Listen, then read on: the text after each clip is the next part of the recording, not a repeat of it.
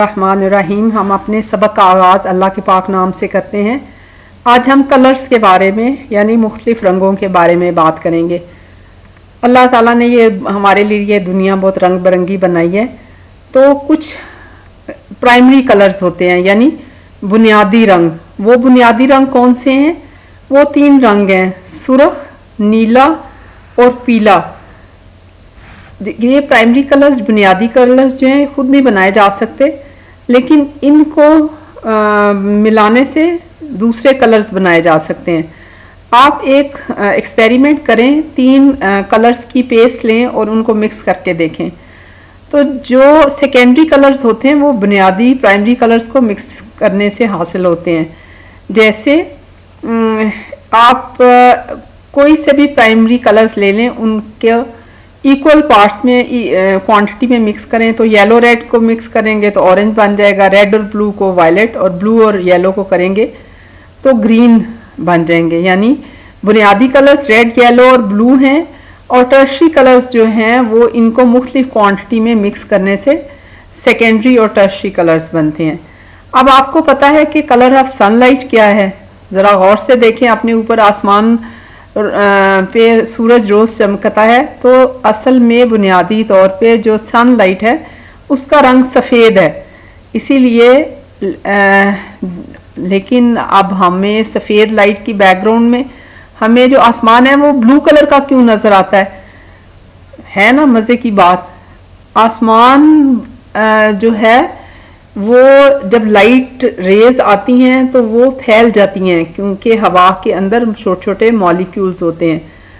तो उसकी वजह से हमें आसमान नीला कर नज़र आता है। अगर हवा ना हो तो देर इज़ ब्लैक काला और वाइट लाइट जो है, वो मिक्सचर ऑफ़ ऑल कलर्स अगर आप प्रिज्म लें और उसमें से सफ़ेद लाइट की शुआ को पास करें या रे को पास करें तो वो सात रंगों में तकसीम हो जाती है।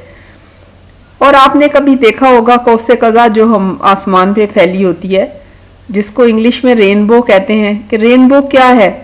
असल में रेनबो जो है, वो कुदरती तौर पे अल्लाह ताला ने जो कतरे हैं, वो प्रिज्म के तौर पे एक्ट करते हैं। और उनमें से जब आड़ी लाइट पड़ती है तो वो सात रंगों में तब्दील हो जाती है। गौर से देखें कभी सूरज जब जोहर असर के वक़्त एक एंगल पे होता है तो उस वक़्त रेनबो बनती है। तो रेनबो कैसे बनती है?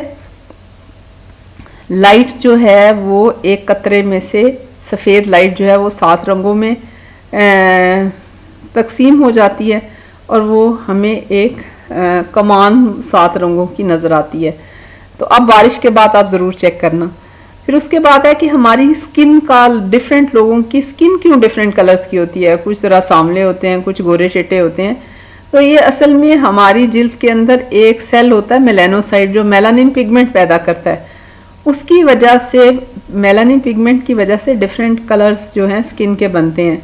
इसी तरह आपने देखा होगा कि हमारी जो आँखें हैं, मुख्तलिफ़ लोगों की आँखें मुख्तलिफ़ रंगों की होती हैं, किसी की काली होती हैं किसी की नीली होती हैं, किसी की ब्राउन होती हैं। तो ये भी सारी मेलानिन पिगमेंट जो होता है, वो हमारे आयरस में होता है, जिसकी वजह से हमारी आँखों का जो रंग है, वो ब्लू, ग्रे, ग्रीन और बहुत सारे शेड्स में आता है। जितनी मेलानिन कम होगी आयरस के अंदर, उतना जो है हल्का रंग होगा। जितना मेलानिन ज़्यादा होगी, उतना गहरा रंग होगा। आप ये देखें कि आई कलर इसको मेलेनोसोम कहते हैं कि सेल के अंदर ग्रेन्यूल्स होते हैं।